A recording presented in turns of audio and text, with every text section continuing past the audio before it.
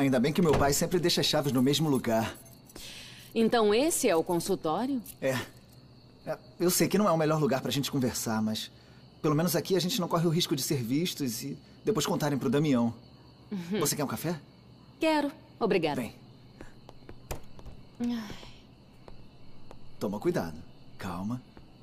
Pronto. Obrigada. Me diz uma coisa, Henrique. Hã? Você nunca teve um relacionamento sério, uma namorada? Como é que eu posso dizer, Flor? Eu já saí com algumas mulheres, mas... Na verdade, nada sério. E você? Me conta. O Damião foi seu único namorado? Mas é claro que não. E há quanto tempo você tá com ele? Faz um ano, mais ou menos.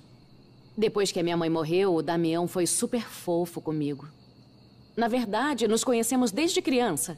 Estudamos juntos na Itália. E você tá apaixonada por ele de verdade? Vamos nos casar, não é? Você não respondeu o que eu te perguntei, Flor.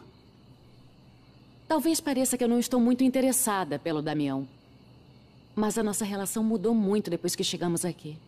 Já tivemos muitas brigas, tantas discussões, eu não sei. Eu não sei se ainda nos amamos como antes. Mas você devia estar mais segura. Afinal de contas, você vai se casar com ele, não? Tem razão. Na verdade, eu Tô muito confusa, sabia? Eu mudei.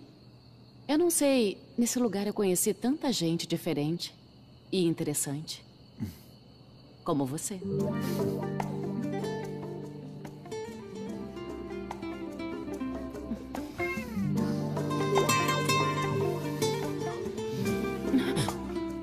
Não. Me perdoa. Me perdoa, Henrique. O que aconteceu não significou nada. Olha, Florência. Não interprete eu... mal as coisas. Não, não, não, não. Por favor, não brinca comigo, Florência. O que eu sinto por você é muito sério.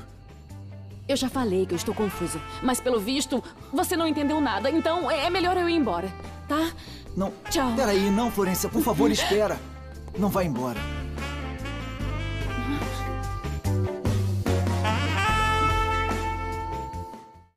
Amor que vive, amor